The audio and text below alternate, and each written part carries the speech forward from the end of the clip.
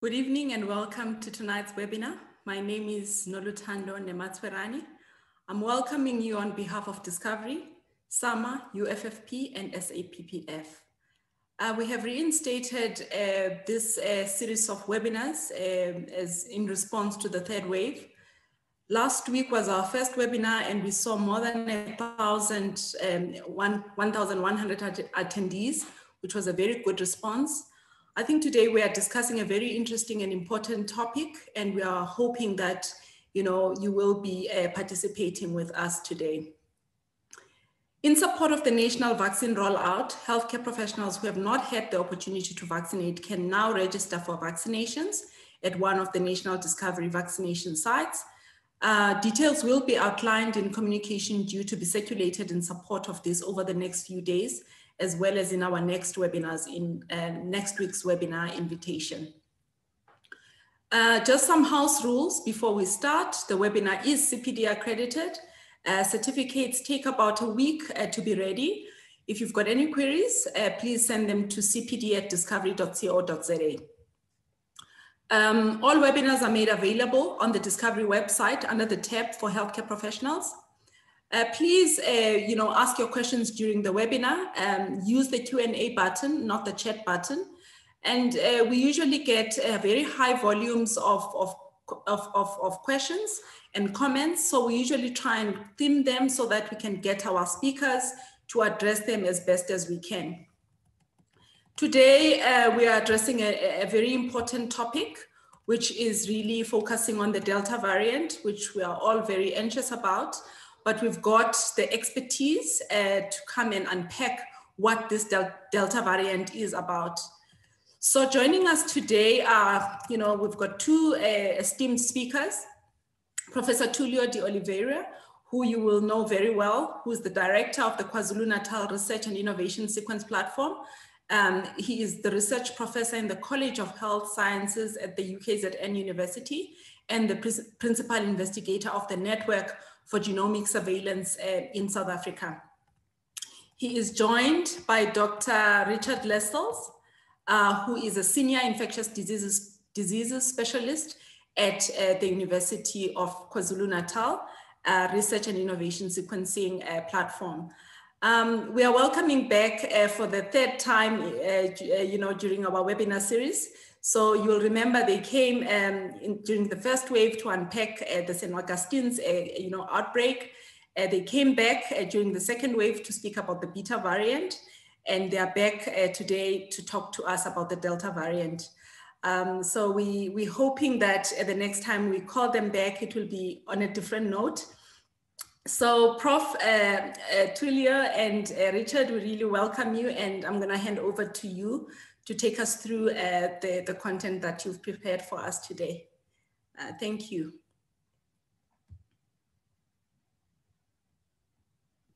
Yeah, thank you, Noluthando, and, and thank you for all the 1,200 people that joined this webinar. Yeah, I hope you you are really taking attention to the to the talk, not just one to your CPD points. Yeah, and of course it is it's great to be back because one thing that both Richard and I we we really value eh, is talk to to frontline clinicians and nurses eh, because we think that's that's where the the main response should lie. Yeah we we are sorry that is the the third time that we bring you bad news but as we we like to say we have to know our enemy if we, if we are to fight it yeah.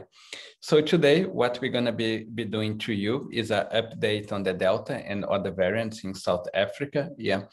Is a very moving field yeah to be honest uh, we we only detect the delta variant at very high prevalence in the last in the last seven days and and we had a lot of work to do not only to communicate with clinicians nurses public health officials governments yeah which which which we find that's very important uh, to highlight like some of the scientific facts as we come to our third wave because that may have may really help to understand how the wave is spreading, but also to more important design good interventions. Yeah. So today, uh, Richard and I, we will be talking not only for ourselves, but in behalf of the Network for Genomic Surveillance in South Africa, which, which, which the website is below. And that's a network that's funded by the Department of Science and Innovation and involve the NHLS, UCT, Stellenbosch, University of Free State, CRISP at UKZN, WITS, and Pretoria. So, so it's quite impressive that you could put a whole network together to try to, to, to, to really do real-time genomic surveillance. Yeah. So if we move to the next slide, eh, we, we normally always like to start with uh, with with highlighting what what's the epidemic curve yeah. And and of course many of you is, is is very aware everyone is following very much the epidemic curve. So here in in the in the x-axis we have time in the y-axis we have daily case and and which which in the black line we have weekly excess deaths and and we everyone know that we we got to a very fast and spreading epidemic. But what we want to highlight is that is that red line there in the middle yeah? And that red line is what we call the reproductive number.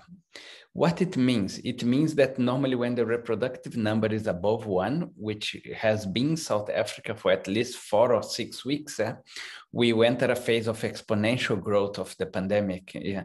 And that's what we have seen initially in Gauteng, but now it's spreading to the whole provinces. Eh. And if we don't bring that number below on one, this, this is going to just increasing very, very, very fast. So at the moment, we are in exponential phase of the pandemic. Yeah. And then if you, we, we go to the next slide. So just to highlight that what we are doing here, we have set up uh, initially six, but now uh, eight labs yeah, around the country yeah, that's always partner with uh, NHLS laboratory, but also partner with, with uh, private labs. For example, here at CRISP at UKZN, we also get a lot of samples from, from, from Netcare and from UNPATH and from MDS. And the idea is to have all these labs distributed around the country, which we can really do like very quick genomic surveillance close where the sample is collected. Eh? So we have a, a lab in, in KZN, another one in the Free State with the University of the Free State, two in the Western Cape with both uh, Cape Town and Stellenbosch. Yeah. And just for the record that today I start a professorship position at Stellenbosch. So we're going to be developing a, new institute between And CRISP and Stellenbosch. And we like to joke, one of the most difficult things is to make Stellenbosch and, and UCT work together. So if we can get them both work together, we can all work in a network, which also involve the NICD, University of Pretoria and WITS. And, and, and this network, what they have been doing is, is genomic surveillance for a while when I say for a while, we, we started doing genomic surveillance around end of February last year. To be honest, we sequenced the first case, the first contact case in South Africa. And here what we are showing to you is two graphics. Uh, the, the top one is the absolute number of genome counts. And the bottom one is the proportion of genomes through time. And then in the X line, we, we see the, the time starting February and coming now to, to, to June. Yeah. And then in the colors, what they represent, when we have a gray line, it means that we have so many lineages that, that like 10, 20 or 30, that none of them is dominating the epidemic. And then what we saw in the beginning, end of last year, which, which coincident with our second wave, uh, is the domination of one variant, which we identify and we initially called the 501.V2, but it got renamed as the, the WHO as the beta variant. And that has completely dominated our second wave, yeah, until the appearance very, very recently of a new variant the Delta variant. And the Delta variant, what it did since um, beginning of May is really increasing in prevalence. And now, unfortunately, displacing the beta variant, and you're going to understand why is displacing the beta variant. And Richard will bring more information. It's a much more transmissible variant, but also starting to completely dominate all our infections. Yeah? And this Delta variant is originally from, from India, or we don't know it's from India, was identified in India and is now it's it's really spreading really fast yeah so if you're showing this graphic here on the y-axis we have the different provinces in south africa in the x-axis the time eh? so what we can show very clear is this continuous genomic surveillance that we have been doing in the country especially in the three big provinces eh, of kwazulu-natal gauteng and western cape and also trying to, to, to survey some of the other provinces. And as you can see very clear, until May this year, we have a completely domination of the beta variant with the appearance of the other variants, both the alpha that cause infections in Europe and the UK in the second wave, but more and more being completely dominated by the green one, what's the Delta variant. Unfortunately, when, when we present yesterday, uh, last week for our government and in national uh, TV, we only had data from, from KwaZulu-Natal, very detailed, but in the last four days, we complete data from Gauteng, Western Cape, Limpopo, and Eastern Cape. And what we're gonna try to show you in the next slides is how not only the increase of prevalence of this variant is closely associated with increasing cases, yeah. So if we get a look in our first province, in, and it's the one that everyone was most interested in, the Gauteng, yeah. So in the black line in the middle there is the average number of seven days rolling average number of cases. And as you see, it went into very quick exponential growth, especially in the beginning of June, and that's closely associated with the increase of prevalence of Delta variant.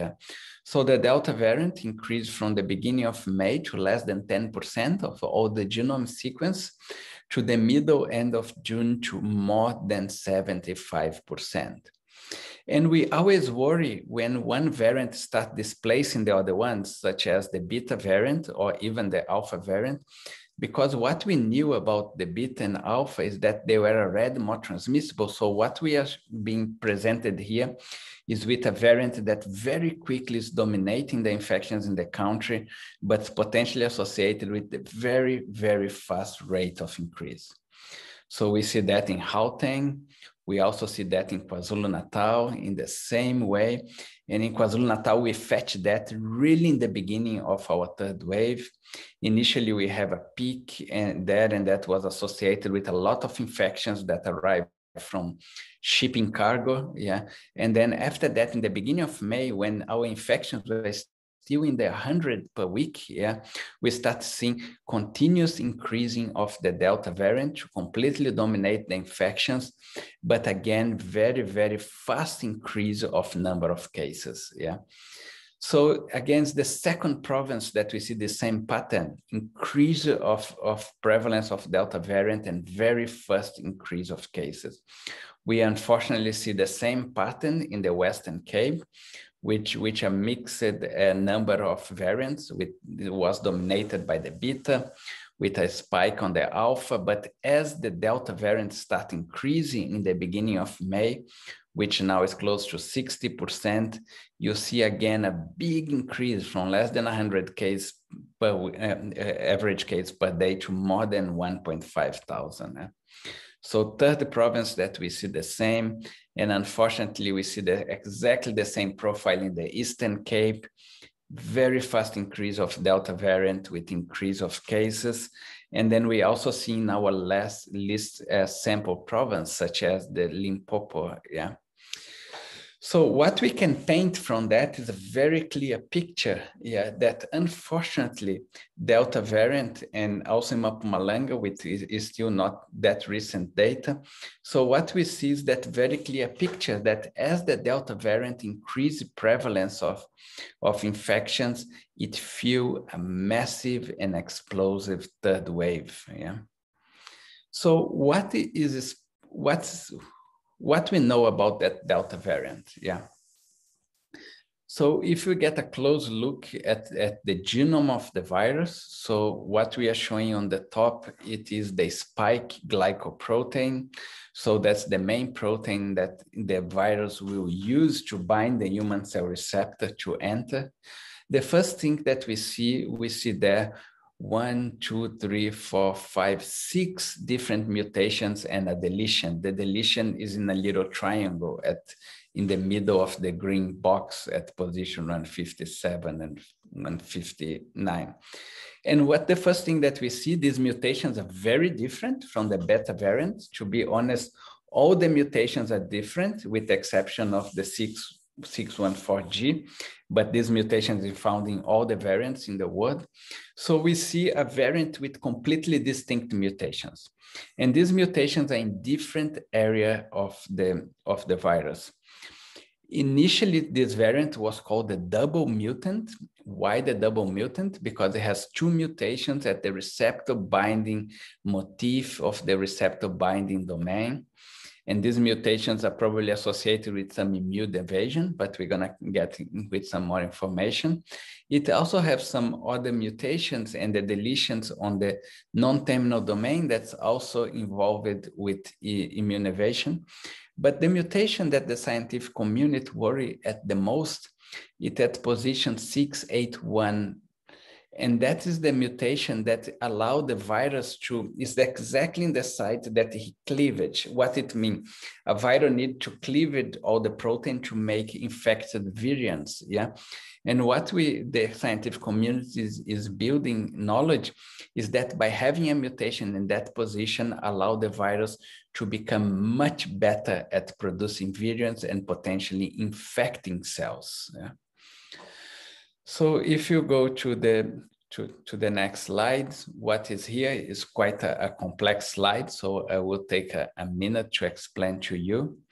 We have we have some graphs that have like the two lines, yeah.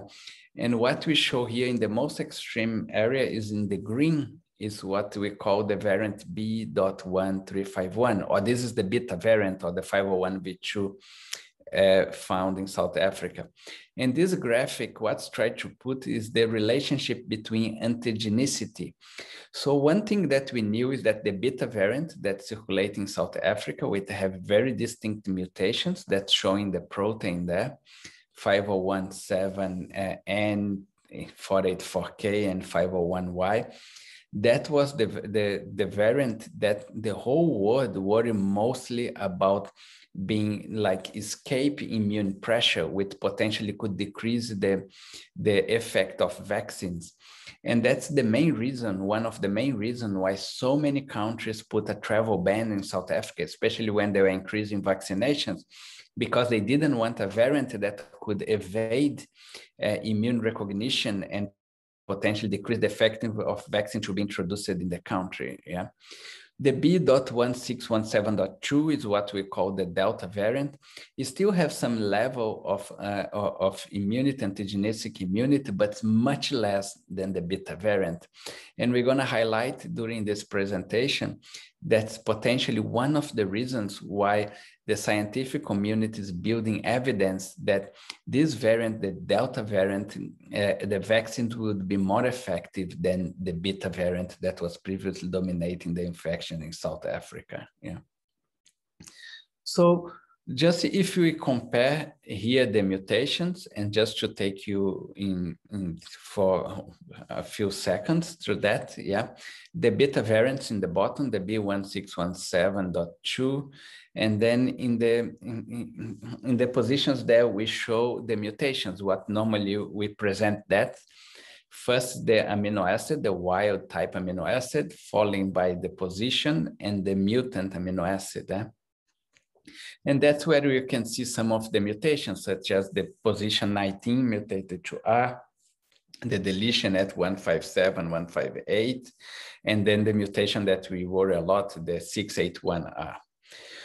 What the world has also find is all these other variants of these variants, what they got quite complex name. For example, the AY.1 is what they call the Delta plus why they call the delta plus because basic have most of the delta mutations the b1617.2 plus the 417n and that's a mutation that we we normally worry because that's also evolved immune evasion yeah So far, the good news is that not very widespread. So at GISAID, the main database, we have close to 100,000 sequence of the of the beta variant of the delta variant, but very very few of the the a dot ay.1 or ay.2, what it means the delta plus. So if you go get a look in the in the raw numbers, in globally the, the delta plus or a y dot one and dot two, it represents 0.4% of the delta variants that have been identified. Yeah, less than 0.1% in the United Kingdom. We're gonna keep talk about the United Kingdom in this presentation. And the main reason is because this variant did this very similar what did in South Africa. Once arrived in the United Kingdom, very quick, dominated close to 95% of the infections. So that's where it's good data. And in South Africa, we found in three of 427 genomes. Uh, we are keeping an eye on this Delta plus, but so far is at a small prevalence. Yeah. So what really happened with a variant that can spread very, very fast, yes, such as the Delta, is that very quick, get widely spread around the world. So was this variant was first sampled in India in October 2020, but then in like around seven months, it have spread everywhere in the world, which most of the countries that get introduced is starting to dominate. Yeah. So for example, in the UK, as I mentioned, it was introduced and displaced the alpha variant with close to 95% of the cases. And in Africa, we already have detection and potentially high prevalence of this variant in Southern Africa, East Africa, Central Africa, and West and North Africa. And very rapidly, it's become the dominant strain in many, many countries, with 96 countries being identified so far. So what is happening is that the, the, the global prevalence of Delta is increasing rapidly. Okay, and very, very, very quick around the world is becoming almost the dominant global variant, which, which is problematic one because it spread very fast. But one of the good news, if there is any news about a very fast spreading virus dominating the third wave, is that now we can build knowledge that's developed not only in South Africa, but in the whole world. Yeah. So I will press for my colleague Richard Lessos, which is a, a infectious disease clinician, to explain the summary of the Delta variant and how it affects transmissibility, disease severity, reinfection, and vaccines. So up to you, Richard. Thanks, Tulio. So hopefully you've got an understanding now of the of this Delta variant and of how quickly that is now spreading around the world and really starting to dominate uh, the epidemic in almost all countries around the world. And, and although we say it's only detected in 96 countries, it's, it's very likely that it's higher than that, but that there are gaps in or delays in, in sequencing in, in many of the other countries. And that's particularly the, the case in Africa. So this slide just really summarizes, and what I want to do is just walk you through some of the knowledge that we have at the moment about this variant and, and some of the gaps in the knowledge where we, where we don't yet know uh, precise details of the variant. And, and this is just some of the key aspects when we think about a variant and, and the properties that it has. So in terms of transmissibility, I think most people logged on to this call will now have heard and understand that this is a highly transmissible variant. And there's now clear evidence that that this is the most transmissible variant that we've that we've uh, been exposed to so far. Um, in terms of disease severity, it's an open question at the moment. We don't know whether this variant in itself is associated with more severe disease. In terms of whether somebody can get reinfected with the Delta variant if they've had a prior infection with either the beta variant in the second wave or an older variant in the in the first wave.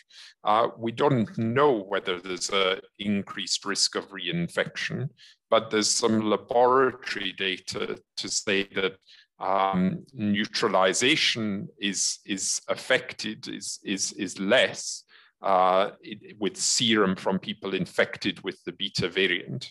So that's that the antibodies in, in the serum from people infected with beta quite poorly neutralize uh, the delta variant in the laboratory. In terms of vaccines, um, there's no evidence of broad vaccine escape.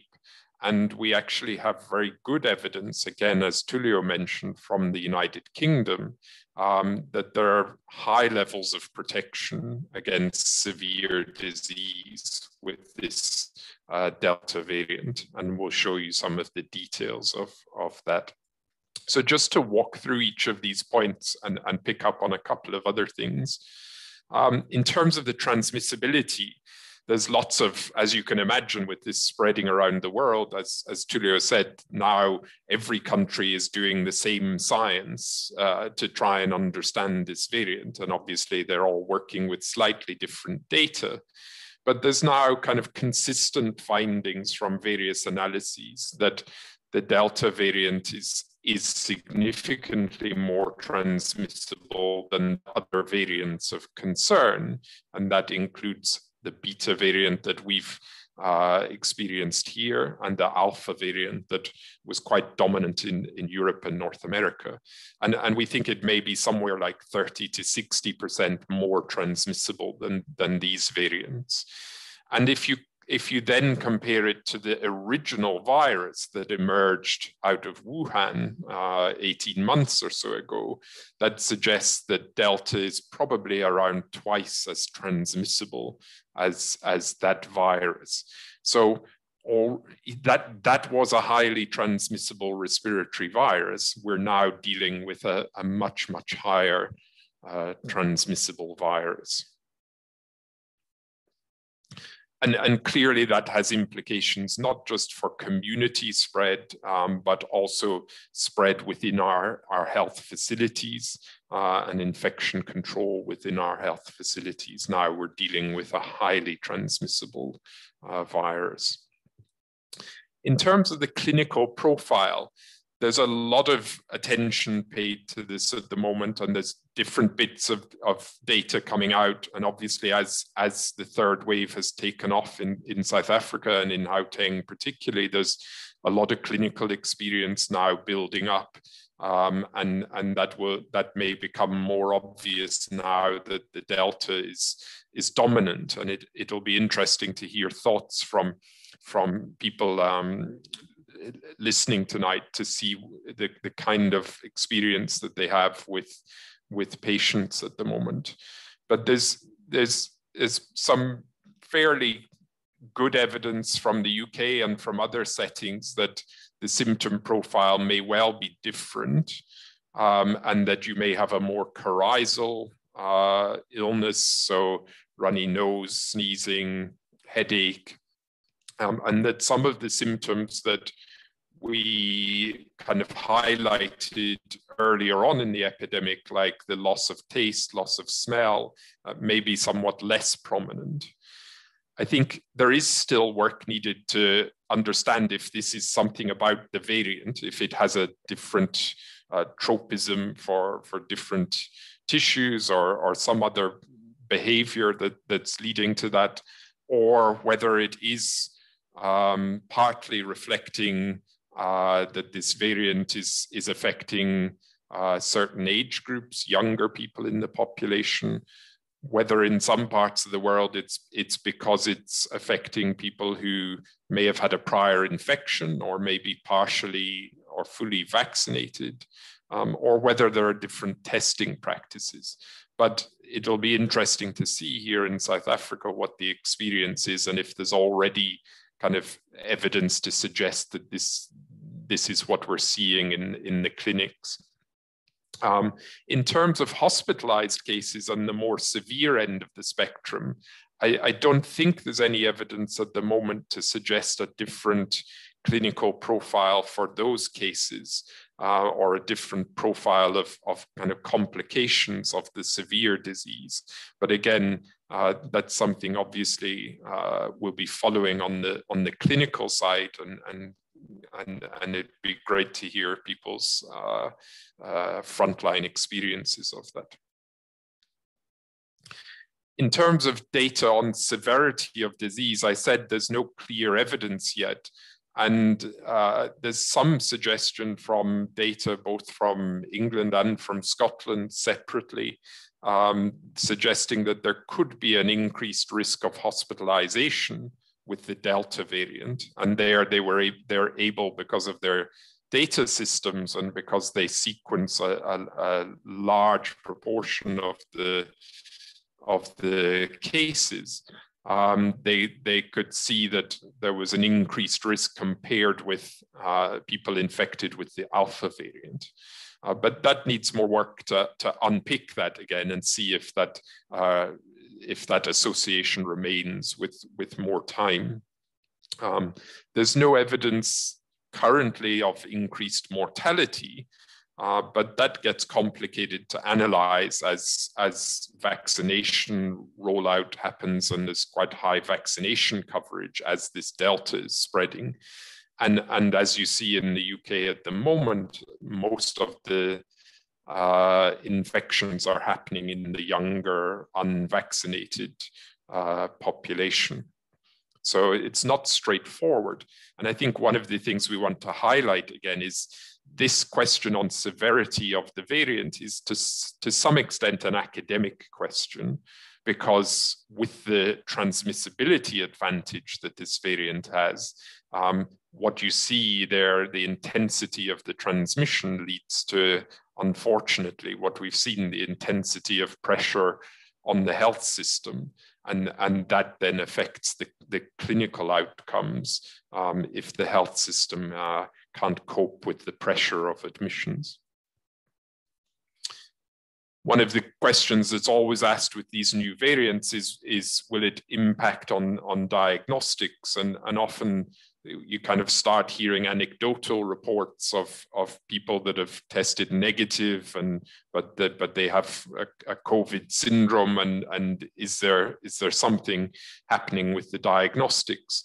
But to the best of our knowledge, um, there's no suggestion that any of the mutations in the Delta variant will affect the performance of either the PCR tests or the rapid antigen tests. There are mutations in, in for example, the, the N gene, which uh, codes for the nucleocapsid protein, which is the target of, of the antigen tests. But um, I haven't seen anything to suggest that that will affect the, the performance or the, or the accuracy of these tests.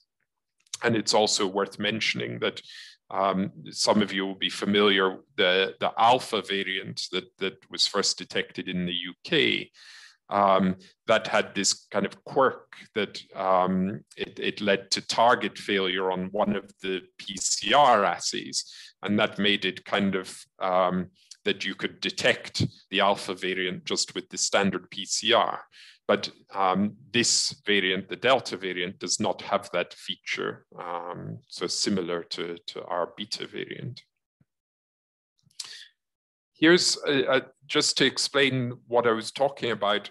When Tulio showed you that, that picture, he was showing you that the beta variant that we're familiar with from the second wave and the Delta variant are quite different. The mutation profile is, is very different and um, they seem to be antigenically quite distinct. And so here, what we're looking at um, is how well the Delta variant is neutralized by different serum. So on the top here, you're looking at different variants. So, uh, and, and, we should have pointed out on an earlier slide, when you see Victoria, it just means one of the earliest um, strains uh, from the epidemic. So essentially a, a, a non uh, variant of concern or, or variant of interest. And then here you see alpha, beta, gamma, delta. Now here we're taking serum from people infected early in the epidemic. So essentially with that were infected not with any of these variants and looking to see how well it neutralizes each of these variants. So you can see, as you'll be familiar with from the beta variant, the beta variant is, is relatively poorly neutralized by that serum. And, and that's what we kind of saw a lot with the with the beta variant and, and the, the second wave of the epidemic. You can see that there's some reduction in neutralization compared to the Victoria, um, but it's around the same level as the alpha and the gamma, and it's not as, as pronounced as with the beta variant.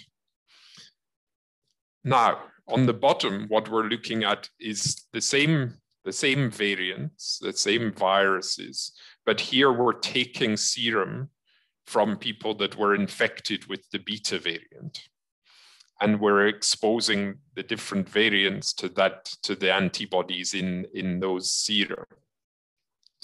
And here we see that um, although that serum neutralizes well itself, it neutralizes the beta variant well, and there's relatively minimal drop off for the other variants of concern, you see there's quite a drop off, quite a drop in neutralization for the Delta variant.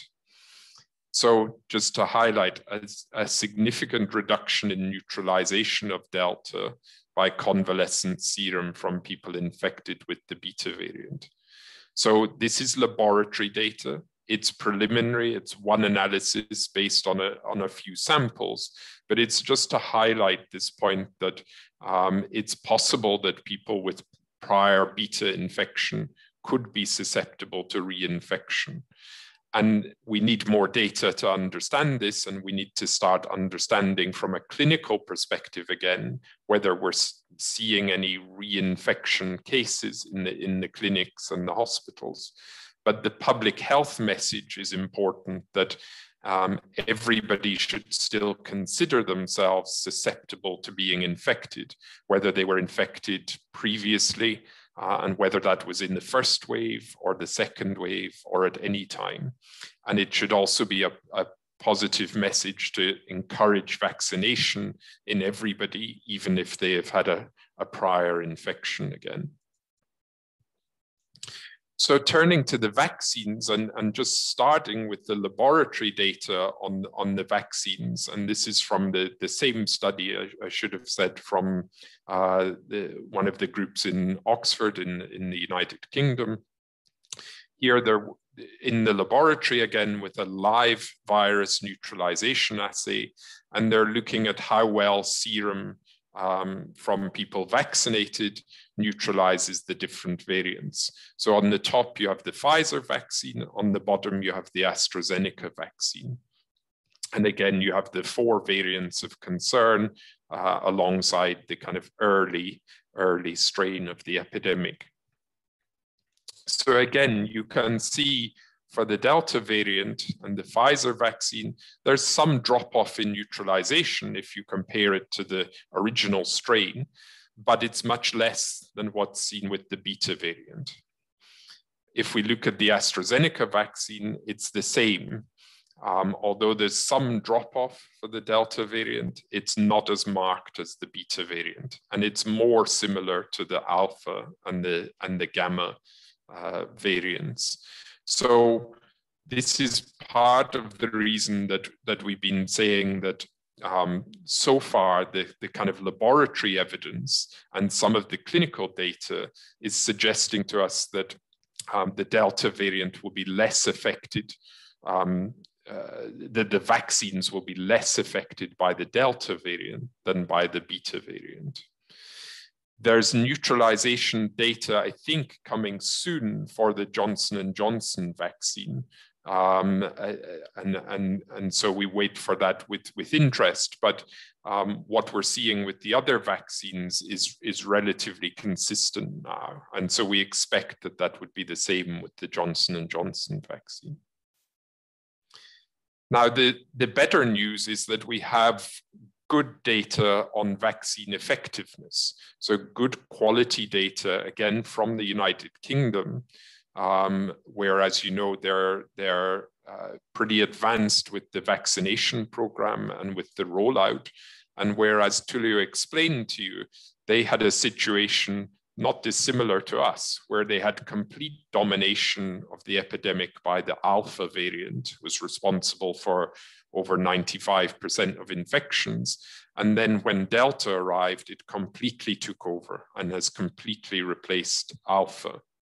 So um, because of this, they're able to, to do some comparisons and look to see uh, what is the vaccine effectiveness against both of these uh, variants.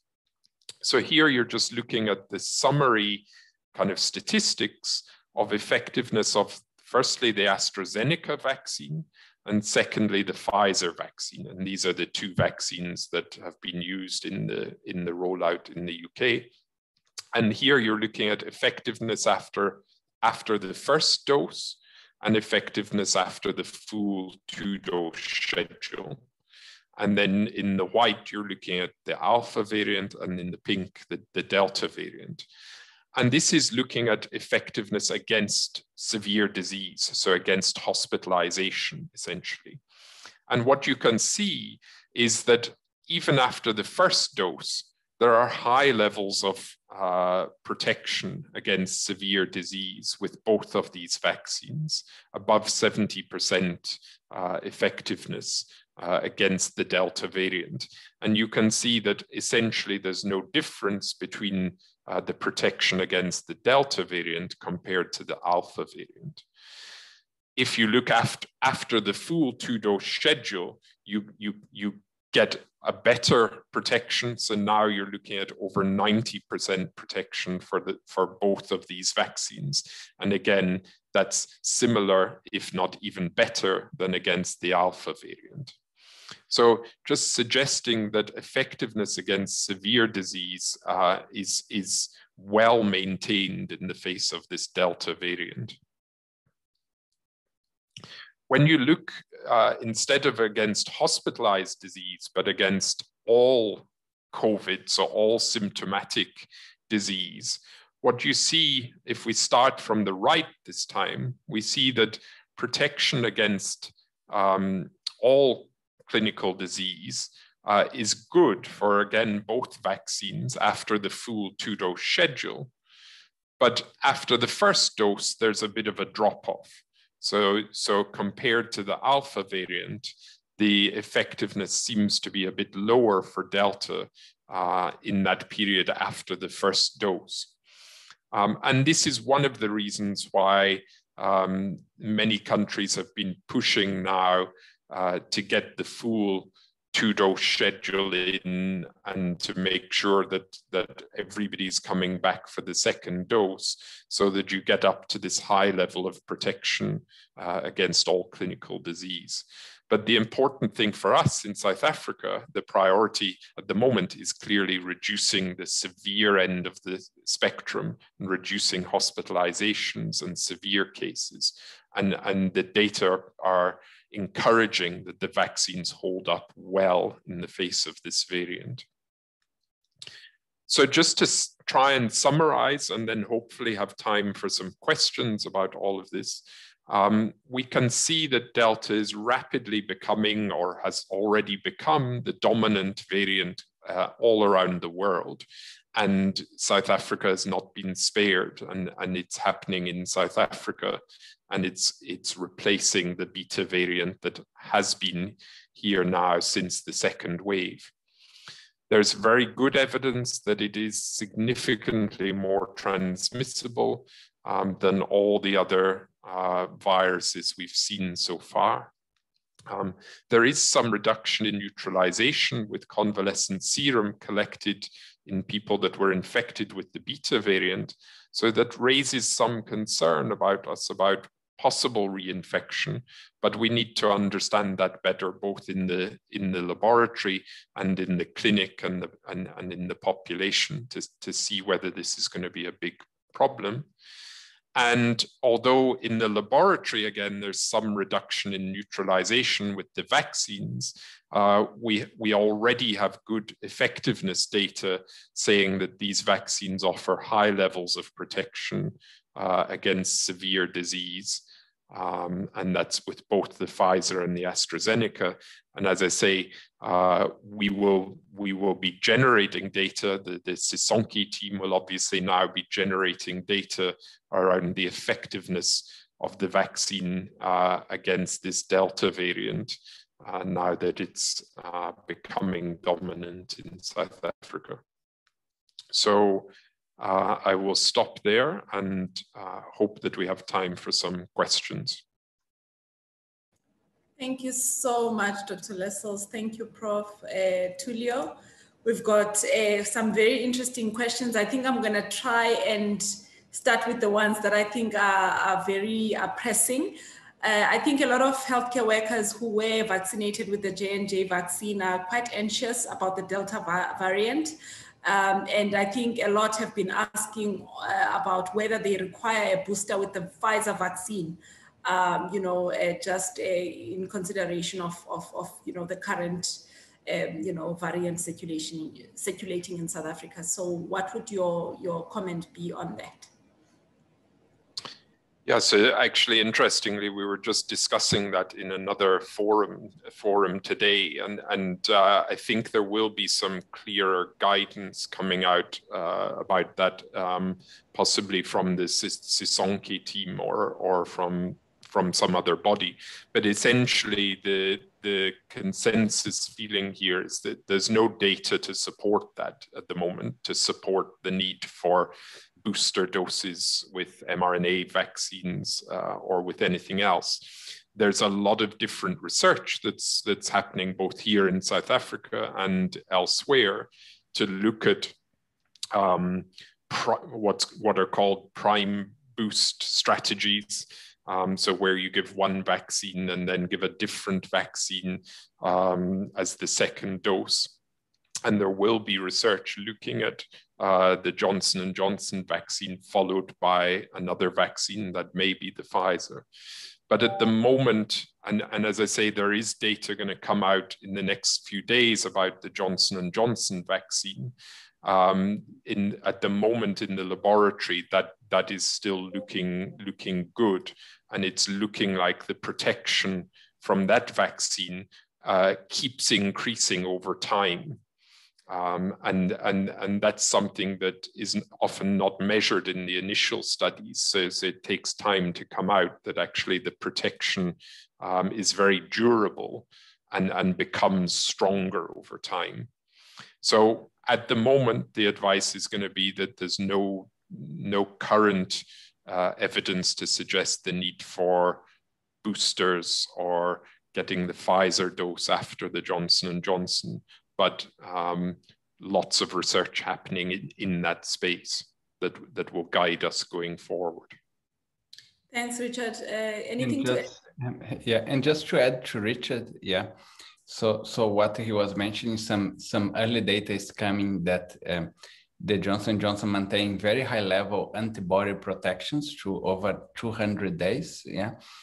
And and as we saw with the other two dose vaccines, yeah, even with one vaccination those they do protect about severe hospitalization. So at the moment, we, we of course, we have to see the data, but, but we, we, we still expect that the Johnson Johnson that was effective to hospitalization and death against the beta variant, that's more immunogenic, should, should hold true to the Delta variant. And this data will be coming quite soon.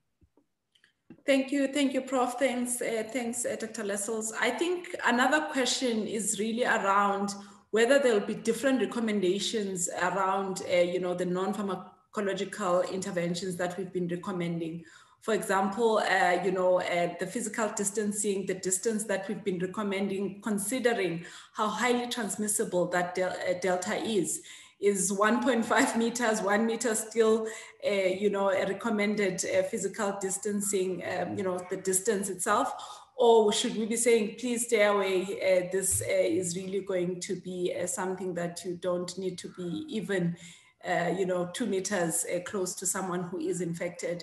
And also, I think there was a question around hand washing, uh, whether, you know, it's effective against Delta. So I think if you can just address just the NPIs and, and whether, you know, there are changes in recommendations uh, with Delta.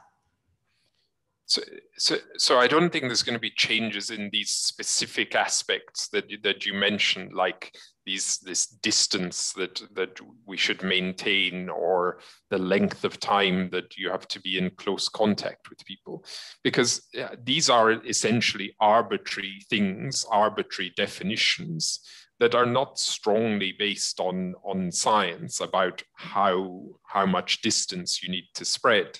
And as we've as we've seen through this pandemic we've we've we've learned more about how this virus spreads and how it is essentially um, a, a, mix of modes of transmission but maybe predominantly airborne spread. And we know that what we really need to avoid is being in close contact, in crowded spaces, in poorly ventilated spaces with a large number of people.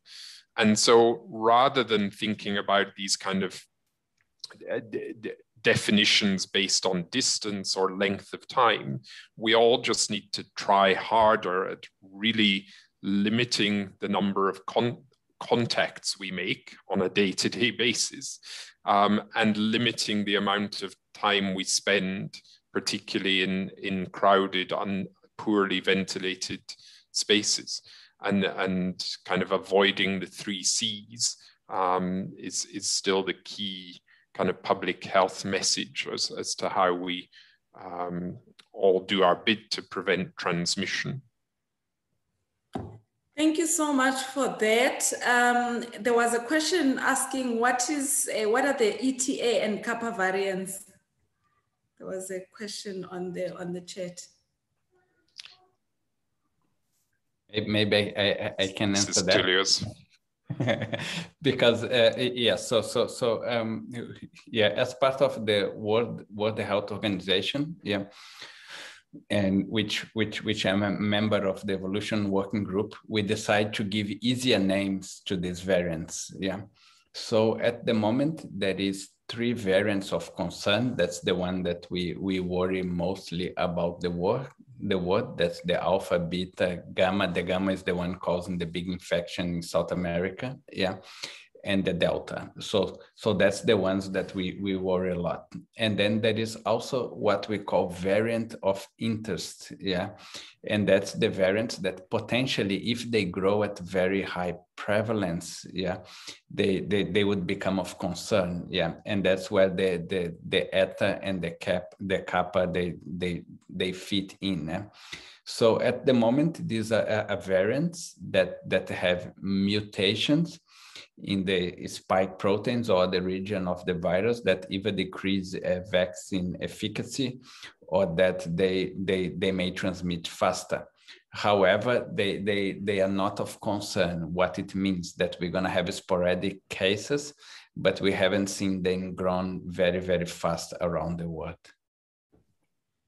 Thank you. And, and actually, and actually, Tulio got something wrong in his presentation, and we always pick each other up on on what we get wrong. But um, if you remember the the original uh, information coming out of India of this double mutant, actually that double mutant was the Kappa variant, which is called the the and in the numerical term, it's the B.1.617.1 and so it's similar to the to the delta, and it had a mutation at the 484 position, uh, the E484Q, and that worried us because it was similar to, to the mutation in our beta variant.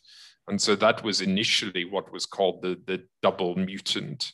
Um, and, and then it became clear that actually this similar one, the Delta variant, was actually uh, starting to take over infections and, and starting to spread around the world.